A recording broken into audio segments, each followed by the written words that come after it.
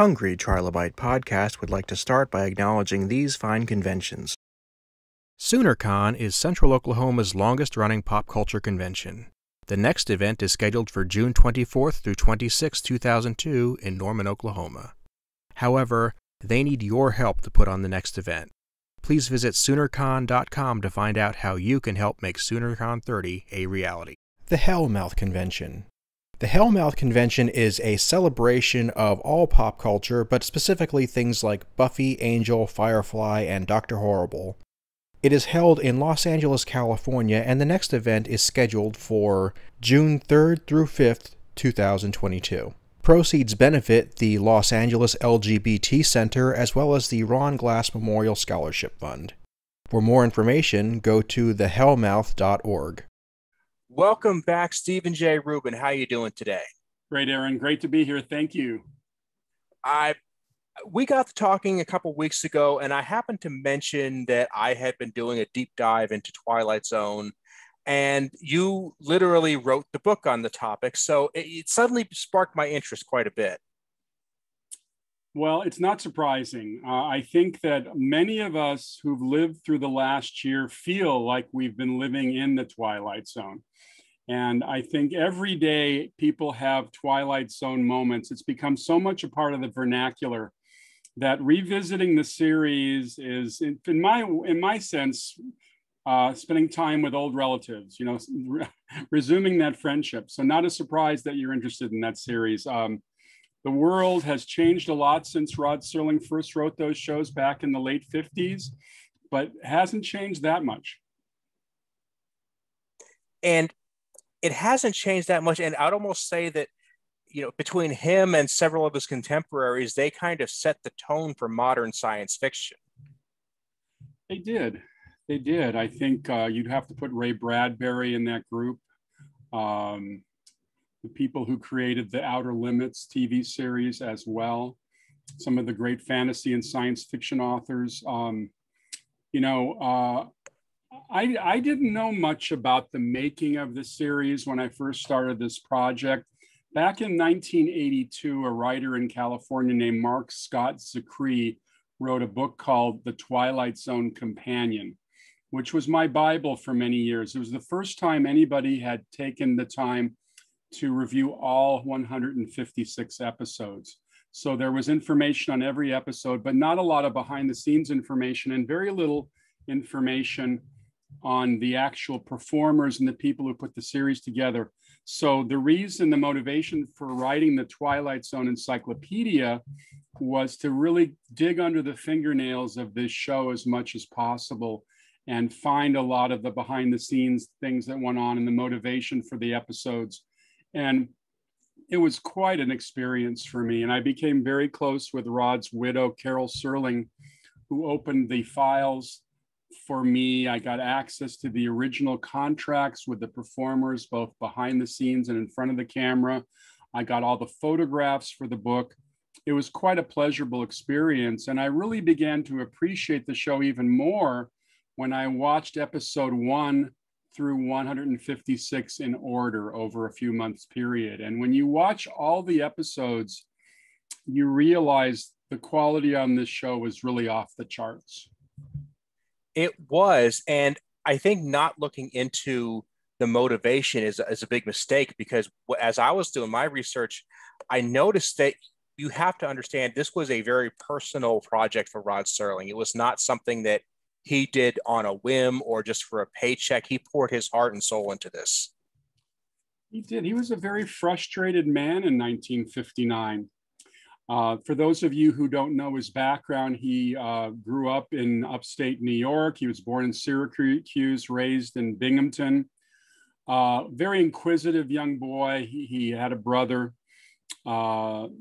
Just was interested in everything and anything. And he went off to World War II. He was too short to be a paratrooper, yet he was able to figure out a way to get in. So he became a, a U.S. Army paratrooper in the Philippines and witnessed horror after horror. It was hardly the glorified military experience for Rod, as many men discovered. And uh, he came out of the war with post traumatic stress disorder. Uh, he had nightmares. he was encouraged by a therapist in Chicago to channel into something. And in Rod's case, he channeled into becoming a writer. And he first wrote for radio in Cincinnati and then uh, moved to uh, New York and started writing for the live TV shows of the 1950s.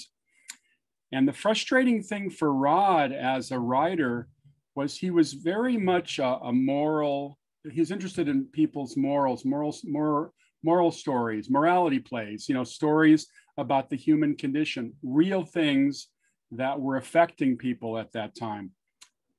Uh, television in the 1950s was controlled by the sponsors.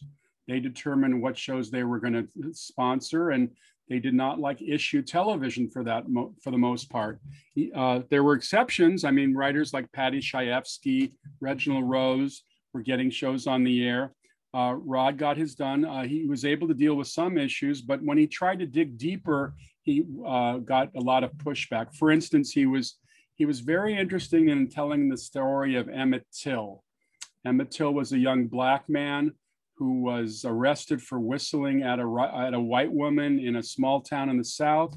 And he was basically hanged by the neck by a mob and for doing that. And Rod wanted to tell that story. He felt it was very much of the time with all of the racial tensions. And a network executive actually said to him, You can make this story, Rod, but you got to turn him into a Mexican and Rod was outraged. He faced that a lot. He did a political show where he couldn't talk about politics. You know, he could do racism if he didn't talk about racism.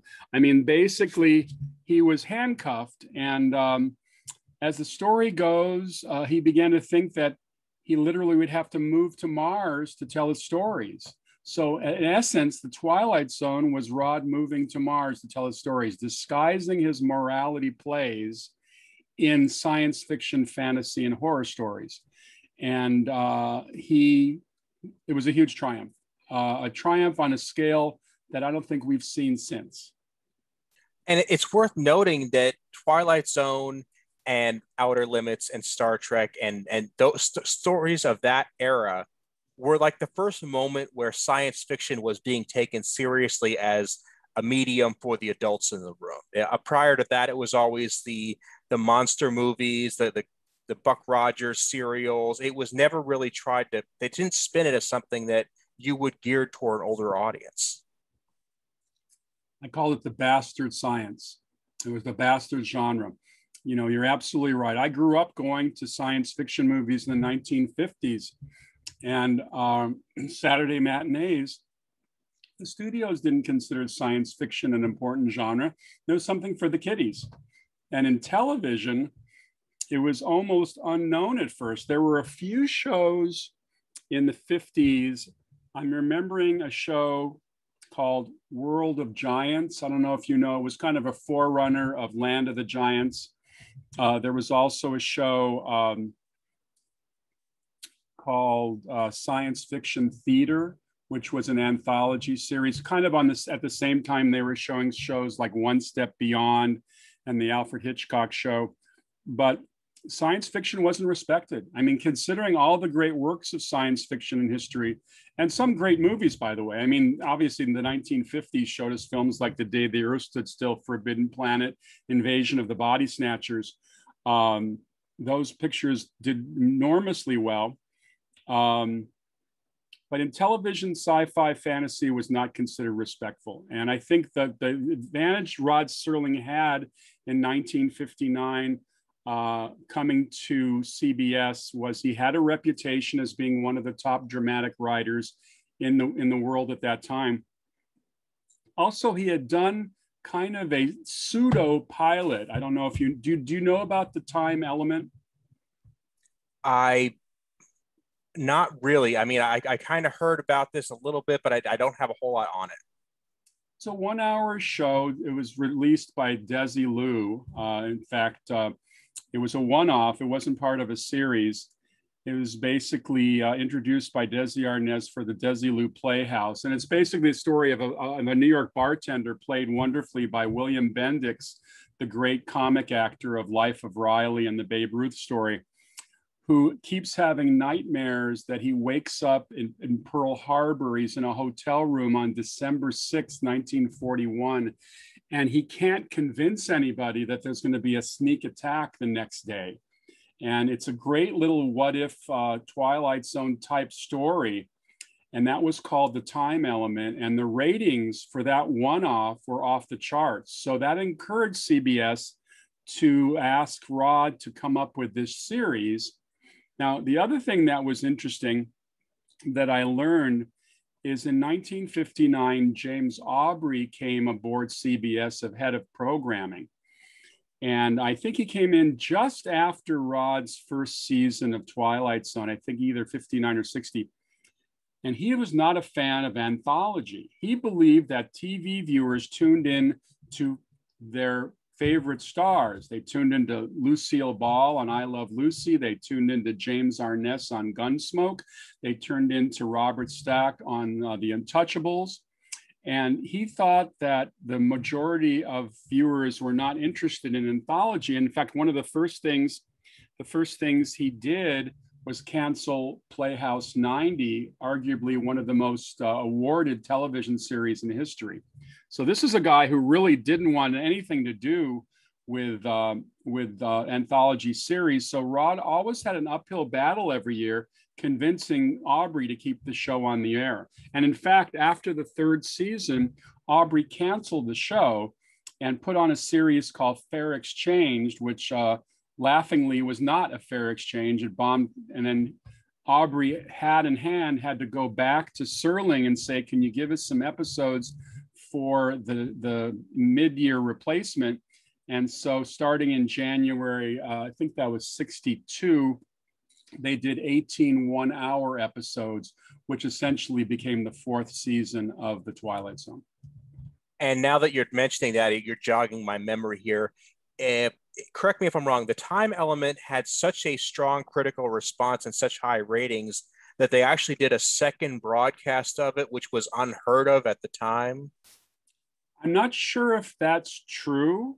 They okay. had done that with a show. Rod's first big success in live television was a show called Patterns with Van Heflin. That's what I'm thinking of. Okay. Yeah, yeah that was that was the one that was uh, done again live, which was unheard of at that time. Yeah.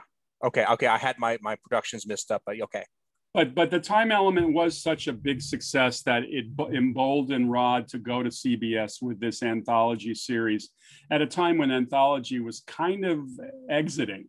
So the fact that uh, the Twilight Zone was able to stay on the air for five years is a, a great credit to Rod Serling.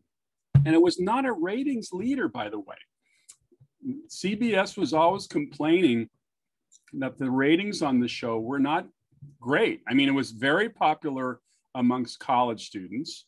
Um, it, I think the critics loved it, but the big shows of the day were getting much big, bigger numbers, substantially bigger numbers. Occasionally, it would sneak into the top 20, but it was kind of a mid range hit but obviously, with Rod Serling's name involved with it, it was considered prestigious for CBS to keep it on the air, even though their head of programming was not a fan.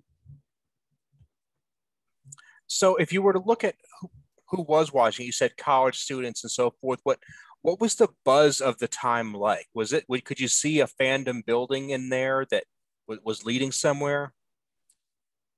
It's an it's an interesting question, Aaron. I think that. Um, well, one of the arguments against anthology is there were never characters you could follow from show to show. Obviously, if you're watching Gunsmoke, it's Matt Dillon every Tuesday night or whenever it was on. So they had to market an anthology show, you had to start from scratch each week, which put them kind of in a little bit of a underdog fashion. Um, I think people really expected to see something unusual, and they got that each week. And I think that uh, it was certain. And again, Rod Serling's name really helped uh, in, intrigue adult viewers. It's not really a kiddie show. I mean, I was eight when the show went on the air, and I, I watched an episode called The Silence about a guy who makes a bet with a guy in a club. He's kind of a motor mouth and he's driving them crazy. He says, I'll bet you $500,000 that you can't shut up for a year. And they put him in a glass room in the basement and they monitor him. I watched about 10 minutes of that and it so freaked me out. You know, as an eight year old, the idea of not being able to talk for a year, I just, I couldn't watch anything like that. I went back to my cartoons, but, um, you know, it wasn't really a kids show. It's really a show that appealed to sophisticated viewers and sophisticated viewers who know Rod Serling's name. So there was probably a strong core of people who were interested in that show, but it, it wasn't getting the ratings of a series with continuing characters. And like you said earlier, this was something, this was a time when the the audience was known for wanting Lucy and they were known for wanting silly distraction humor. And i mean no, no, disrespect to lucy but it's like they were looking for the comedies the farces and that was the total opposite of anything twilight zone. They were they were. And uh, you know we're on when when the twilight zone went off in the air air in 64 this is the era of the beverly hillbillies you know, green acres gilligan's island. I mean these were the shows that were drawing people escape shows. Uh, they didn't want you to necessarily think. You know there are several twilight zone episodes dealing with major issues that were taboo everywhere else in the tv universe. I mean rod was the first one to do a holocaust story you know uh, uh, death's head revisited with joseph joseph schildkraut um, uh, the, the, he had total control over what stories he could put on the air. That was one of the great things in his contract, which again was unheard of at that time. If Rod came up with a story idea, there wasn't no, there wasn't anybody you could say no. So none of the pushback he had in live television. So if he wanted to do a Holocaust story, he did a Holocaust story. If he didn't want to do a story, he wanted to do a story on child abuse. He did one on child abuse. The um, the uh, episode with Bill Mumy uh, about uh, the Vietnam War, dealing with a boy who's off in Vietnam uh, with Jack Klugman. The name will come to me in a second. Um, was also, I think Rod was the first writer in Hollywood to mention Vietnam in a dramatic show. So, I mean, he was doing things that people just didn't do at that time. Um, unfortunately, his style of writing heavy dialogue, good dramatic dialogue, um, you know, at the expense of, you know, not necessarily a visual sense, was kind of going out of style by the mid 60s. Color shows were coming into vogue and a lot of production value. Uh, so I think Rod Rod's human stories were kind of getting to be a little obsolete in a way. If you think about it, his feature career, you would have thought that Rod Serling would have been a big guy in movies. But aside from Planet of the Apes and Seven Days in May, none of his stuff got made. I mean, he did very few movies and uh, it wasn't his strong suit. He wasn't interested in the visual side, the technical side. He was interested in the people and their dialogue, and nobody could write dialogue like Rod Serling. That's another reason why I think those shows from 60 years ago still play beautifully today, because there are real people dealing with situations that might be outrageous, but being done in a realistic manner. And you know, if you're talking about a guy who has it put in his contract that he has absolute control over which stories get done. That's not the move of a guy who's just there to pull a paycheck. I mean, people, I've heard that Rod would actually, in his personal life, he would get into an argument with you if you found out that you went to anybody but his barber. And the reason that you had to go to his barber was because he went to the only barber in town that would cut the hair of people of color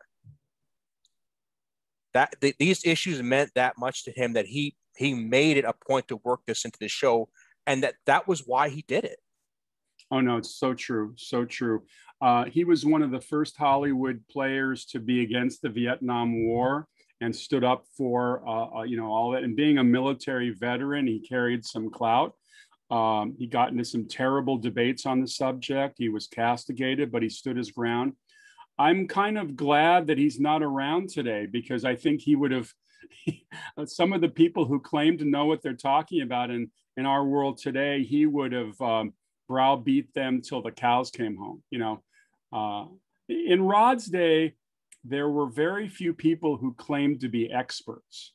You know, they, you know, you know, this was the era of Walter Cronkite, who reported the news, you know, as a real visual, not a, real, no, a real expert, and just somebody who let people speak. And I think Rod believed in that kind of expertise. And uh, I think today, because of the internet, everybody's an expert. And I think that's not the world Rod came from.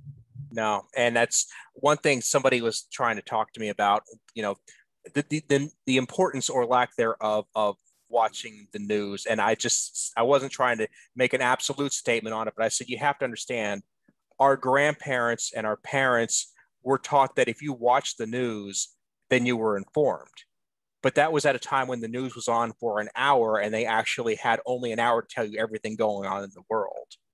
When it's on 24 hours a day and they just need to fill that time, suddenly a lot of things seem important when they're not. And we don't hear things that are important. Exactly. Exactly. And um, whether you're a CNN fan or a Fox News fan, I mean, when did it become a rule that people started to express their opinions? Press shouldn't express their opinions unless they're doing it on the editorial page of a newspaper. And I think in Rod's day, you heard the news and that's what you heard. You didn't hear people's opinions who had no business talking about their opinions. And um, he, um, well, the other thing about Rod Serling, which has nothing to do with politics, is he kind of mastered the idea of the what if scenario. Every single episode of The Twilight Zone could be characterized by saying, What if a flying saucer landed in a small suburban neighborhood and people started freaking out about it you know you know what if a guy went back into time and tried to kill adolf hitler? I mean these are kinds of stories that really get your imagination going. And as a writer myself i've always been very inspired by his feeling of you know think think outside the box. Think as outrageous as you want to be. Don't go with traditional things.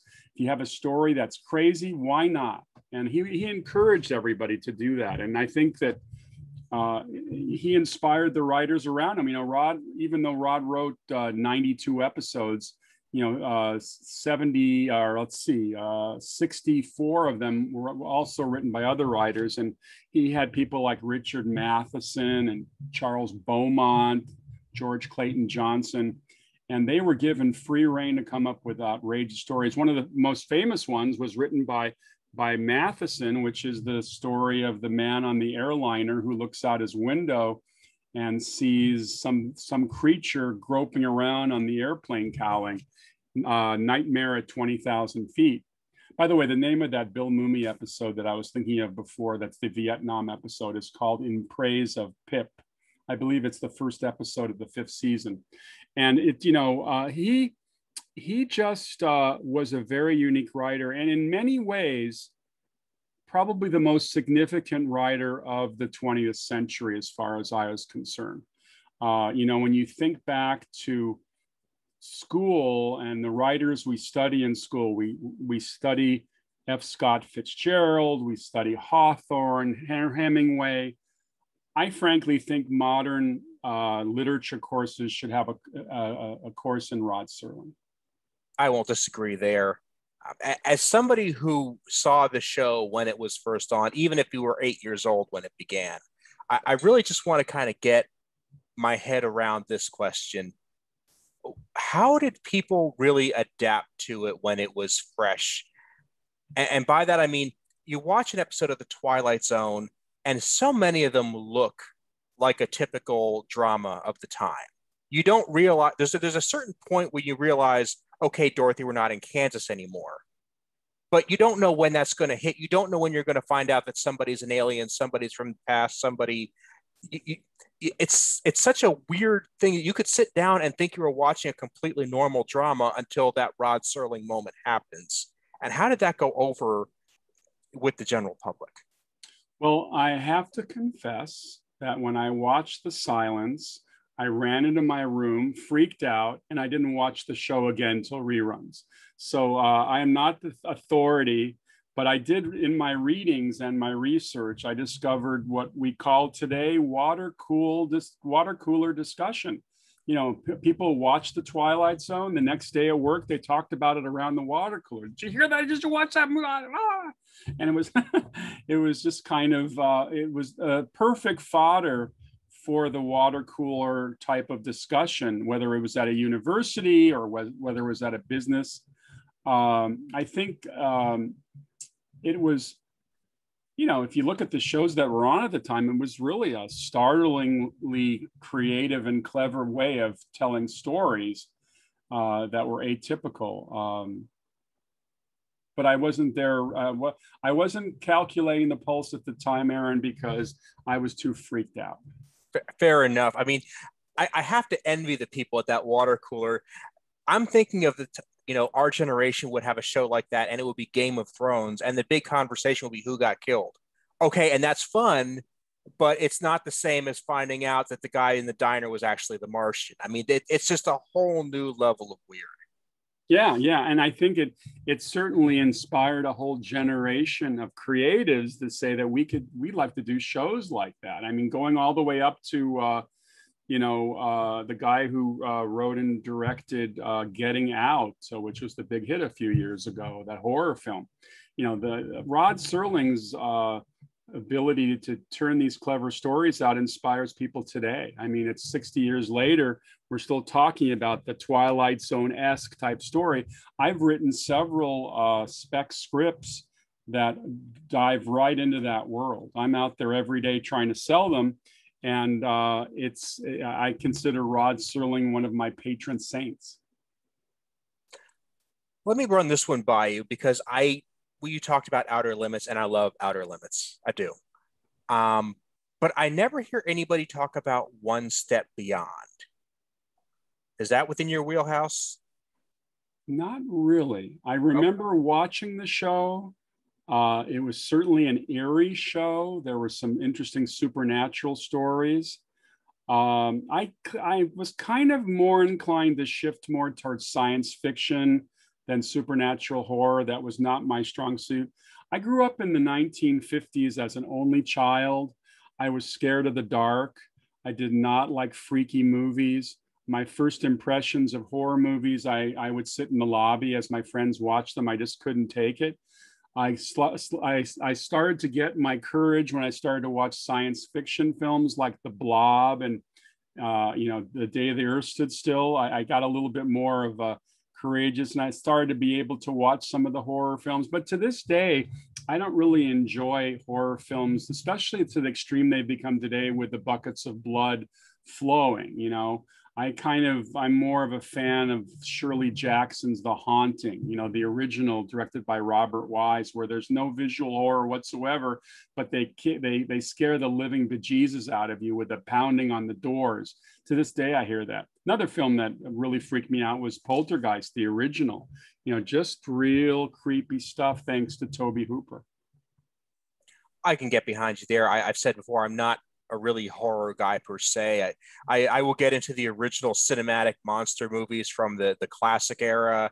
There's a couple oddball ones here and there I can dig just for the camp value, but I I much prefer something like a Twilight Zone where the the, the terror is in your mind, the terror is in possibilities. Yeah, yeah. I mean, one of my favorite Twilight's up uh, Twilight Zone episodes is the Howling Man which is the one about the guy who comes to that European monastery and every night when he goes to bed, he hears someone howling or something howling.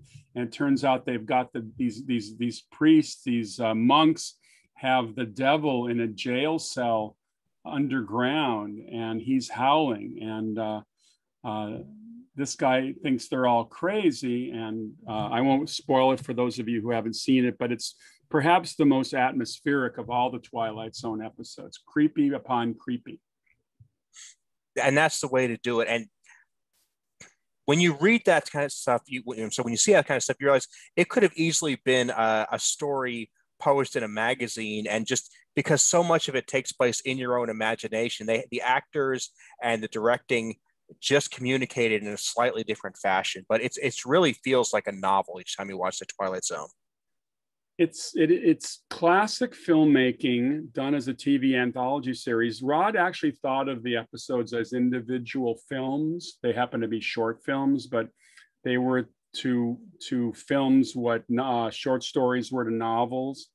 And uh, the other thing I, I, have to say, since the series has been revived three times, most recently with Jordan Peele's late Jordan Peele's latest, The Twilight Zone. Once you shoot a Twilight Zone in color, you lose 50% of the atmosphere. So I don't think the Twilight Zone ever works in color for, for my money. I think if you were able to turn the color off while you're watching a color episode, I bet you'd enjoy the episode better. I'm gonna have to try that. Yeah, I think it's probably a good idea. I remember that um, the the cinematographer who worked on over a hundred episodes, his name was George Clemens. He was a perfectionist, and the look of those those film uh, the, shows that were shot on film, all but six of the episodes of the series were shot on film.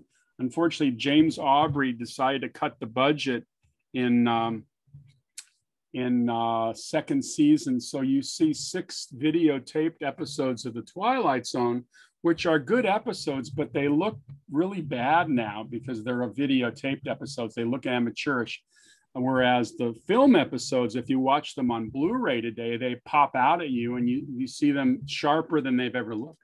I love getting anything black and white on Blu-ray just because the, the, combination of black and white film and the high definition, the detail is stunning absolutely oh, yeah. stunning. It's funny because um, uh, the the I think it's the end of the thir- uh, third season episode was a Donald Pleasence episode called "The Changing of the Guard," and Donald Pleasence plays this uh, this private school professor who is having a crisis of conscience. And at one point in the show, it shows him at his desk in his office at the school, and behind him is his diploma. Well, this, the character he plays, I believe his name is Professor Fowler, but the name on the diploma behind his desk is a different name. So I said to myself, the art director probably never, or the set director never really thought that anybody would be that, have the ability to see the name on that diploma. I'm glad you brought up the Twilight Zone reboots because there is one question I would like to ask, just and it's just to play with the idea. It, is the problem with some of the reboots, at least especially the better ones, is it just the name? And, and by that I mean, could that be a fantastic show if it was called called anything else? It's a very good question. You know, I have not waded into the reboots. I started watching the Jordan Peele series. The first episode about the stand up comic I thought was okay. Not great, but okay. But the second episode was somewhat of a reboot of Nightmare at 20,000 Feet, with instead of having a creature on the wing, they had this iPad uh, and uh, telling him things. And it, Aaron, it was such a bad episode. And the ending was so horrible. It was the worst ending I've seen in a short show ever that I said, I'm done. I was done after two episodes. So I might have missed some really good episodes of the new reboot. I didn't watch the second, re- the first reboot, and I didn't watch the second reboot. You know, uh, I like Forest Whitaker as an actor. Uh, but when I saw him hosting, I said, Where's Rod Serling? so I want to cut you loose soon, but where can we find the Twilight Zone Encyclopedia and why should we check it out? Well, it's it's a fun book per se. You know, uh, if you want to know something about one of the actors on the show, where he worked with Rod before, or some of the other actors, or some of his background, I have over 500 bios in the encyclopedia on performers who were in the Twilight Zone. I have a lot of behind the scenes information, some really interesting arcane knowledge that. Uh, that uh, I think people would find interesting. It's a good companion piece to read when you're watching an episode. I give you a little bit of the behind the scenes details. It works in a companion with uh, Zicree's book. The, the, you know, he's more of a critic, so he actually analyzes the episodes and gives you his criticisms. I'm not a critic on that level. I'm just providing you with more information and a lot of interesting photos. So I think it's a fun book. And you can find it right now on Amazon, uh, the Twilight Zone Encyclopedia. And um, if anybody wants to comment on it, I have a couple of uh, web. I, I have a couple of Facebook presences now. I have a I have a, a, um, a page called Steve Rubin Saturday Night at the Movies, where I publish reviews of classic movies every week. And I also, as most people know, I have a book out called the James Bond Movie Encyclopedia, and I have a title, I have a page for that as well. Or you can simply write to Steve Rubin at Facebook, and that's probably the best way to reach me.